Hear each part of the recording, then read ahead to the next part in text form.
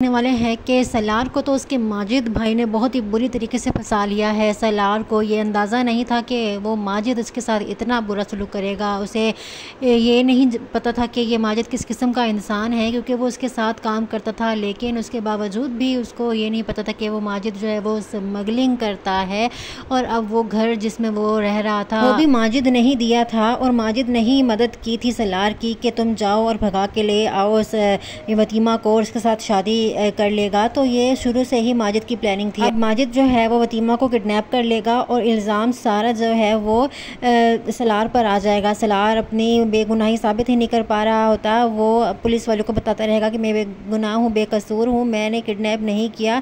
मैंने उससे शादी की है। हम दोनों ने अपनी मर्ज़ी से शादी की लेकिन कोई भी सलार की बातों पर यकीन नहीं कर रहा होता है जबकि दूसरी तरफ़ वतीमा जो है उसको माजिद ने किडनैप करके रखा होता है और बहुत ही अजीब लोगों के हथे चढ़ चुकी है वतीमा और वो लड़की वहाँ पर जो वतीमा की दोस्त बन चुकी है, वो उसे समझाती है कि देखो, तुम इनकी बात मान लो, वरना ये तुम्हें जो है बहुत ही बुरा बर्ताव करेंगे तुम्हारे साथ और तुम्हें जो है वो मारेंगे भी नहीं और मरने भी नहीं देंगे। तो तुम्हें जो है ये इनकी बात माननी ही पड़ेगी। तो यहाँ पर वतीमा के जहन में भी कुछ ना कुछ चल रहा है, वो अपनी प्लानिंग कर रही है और वतीमा जो है वो हार नहीं मानने वाली है।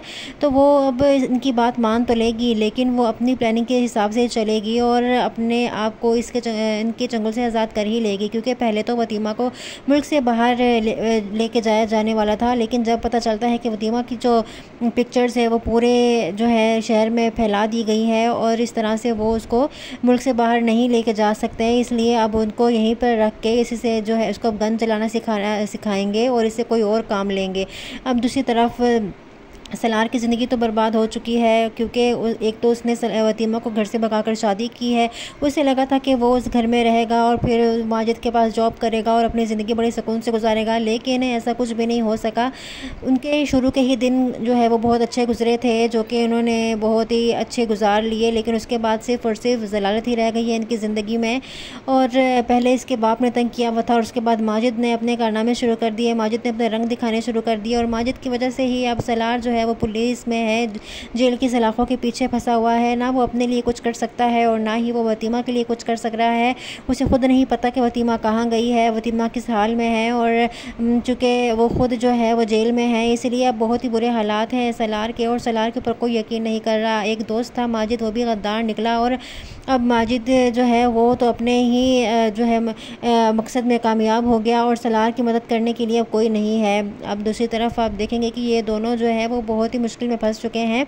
इन्होंने पसंद की शादी तो कर ली थी, लेकिन अब बहुत ज़्यादा पछता रहे हैं। चूँकि सलार तो अब जेल की सलाखों के पीछे है, वो तो कुछ नहीं कर पा रहा, ना अपने लिए, ना ना ही वतीमा के लिए। इसलिए वतीमा को ही कुछ ना कुछ करना पड़ेगा। वतीमा जैसे तैसे करके वहाँ से भाग निकलेगी और फिर खुद जाके जब आएगी सामने और अपने बाप को भी बताएगी और पुलिस वालों को बताएगी कि उसको किसी और ने किडनैप किया था, सलार ने किडनैप नहीं किया था और उसके बाद ही जाके कहीं सलार की जान छुट सकती है, वरना सलार की जो ज़िंदगी अब बहुत ही ज़्यादा बेकार होने वाली है। तो जो कुछ भी करना है वतीमा नहीं करना है। वतीमा ही हिम्मत करके वहाँ से भाग निकले में कामयाब होगी। आने वाले एपिसोड में आप यही देखने वाले हैं कि अब वतीमा क्या करने वाली है और अपनी चलाकी से किस तरीके से जो है उनको बेवकूफ़ बनाकर और उनकी चुंगल से भाग निकलेगी। क्योंकि अब वतीमा जो है वो हिम्मत नहीं हारेगी और वो हिम्मत करके जो है अपनी कोशिश से किसी न किसी तरीके से सलार को जो है वो बेगुनाह साबित करेगी। और आने वाले एपिसोड बहुत ही ज़्यादा इंटरेस्टिंग और अमेजिंग होने वाले हैं क्योंकि अब यहाँ पर ये देखना है कि वतीमा अब किस तरीके से जो है अपने आप को भी बेगुनाह साबित करवाती है, अपने आप को भी उसके चंगुल से छुड़वाती है और साथ साथ सलार को भी ये बताती है कि वो सेव है। तो इस तरह से अब सलार और वतीमा को बहुत जल्द एहसास होने वाला है कि उन्होंने घर से भाग बहुत गलती कर दी थी और अब वो अपने माँ बाप से माफ़ी भी मांगेंगे। लेकिन पहले भी तो माफ़ी मांगने की कोशिश की थी, लेकिन उनके वतीमा के बाप ने उनको माफ़ नहीं किया था। लेकिन इतने ज़्यादा जद्दोजहद करने के बाद भी और फिर जैसे वतीमा किडनैप हो चुकी है तो फिर अब उसके बाप को जो है अंदाज़ा हो जाएगा कि वो वतीमा मुझसे माफ़ी मांगने आई थी, लेकिन मैंने फिर भी उसे कबूल नहीं किया। तो इसकी गलती है। अब दोबारा जब माफ़ी मांगेगी तो वतीमा का बाप उसे माफ़